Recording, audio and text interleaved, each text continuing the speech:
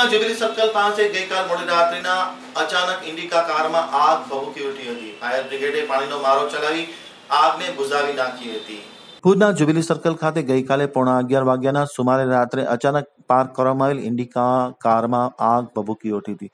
પડવરમાં આગ લબકારા મારતીને આખી કારને લપેટમાં લઈ લીધી હતી. રસ્તેથી પસાર થતા લોકોએ તાત્કાલિક અસરથી નગરપાલિકાના ફાયર વિભાગ અનિલ મારુને જાણ કરતા તેઓ તાત્કાલિક પોતાની ટીમ સાથે ઘટના સ્થળે પહોંચી ગયા હતા અને જ્યુબિલી સર્કલ વિસ્તારમાં પાર્ક કરવામાં આવેલ અને આગની લપેટમાં આવી ગયેલી ઇન્ડિકા કાર ઉપર પાણીનો મારો ચલાવી અને સતત અડધી કલાકની મહેનત બાદ આ આગને કાબૂમાં લેવામાં આવી હતી. પરંતુ જ્યારે આગ કાબૂમાં આવે તે પહેલા આખી કાર આગની લપેટમાં આવી ગઈ અને સંપૂર્ણપણે ટોટલ લોશ આ કાર બની ગઈ હતી.